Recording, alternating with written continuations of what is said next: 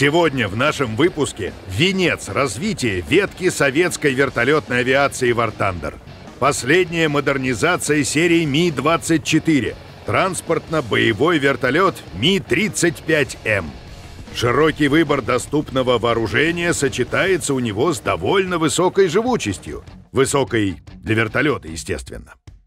На носу машины установлена подвижная турель с 23-миллиметровой пушкой. По горизонтали она отклоняется на 60 градусов в каждую сторону. Углы вертикальной наводки от минус 40 до плюс 10 градусов.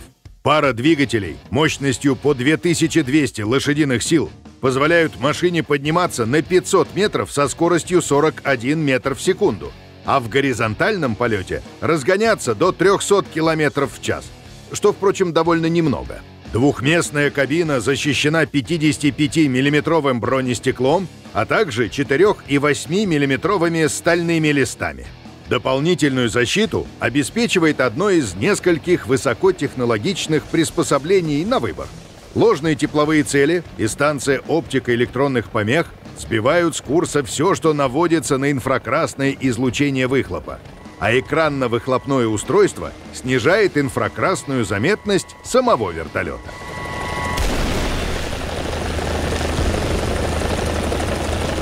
Перейдем к вооружению. Тут наш главный козырь — Птуры 9М120 «Атака», пробивающие до 800 мм брони и в полете достигающие скорости до 550 метров в секунду. Это самые быстрые противотанковые ракеты в игре, которыми можно уничтожать не только любые наземные, но и многие воздушные цели.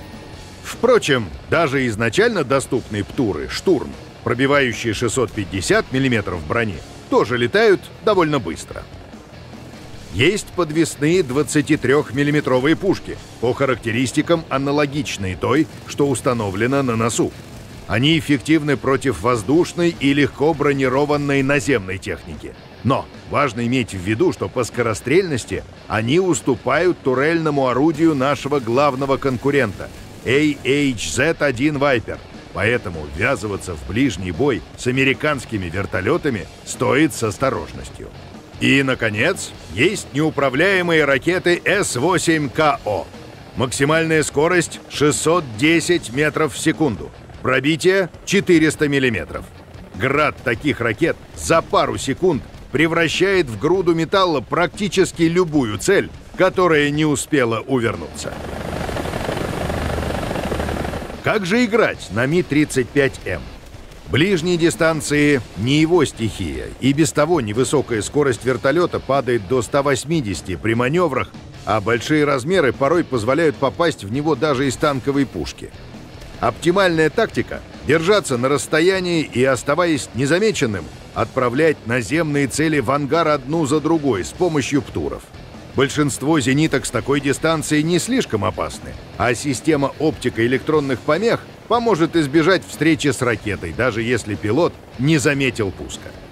Впрочем, при определенном мастерстве можно играть и агрессивнее — Тогда наш выбор не птуры, а комбинация неуправляемых ракет и дополнительных подвесных пушек. Лобовая броня вполне выдерживает огонь танковых пулеметов, но вот от зениток надо избавиться заранее.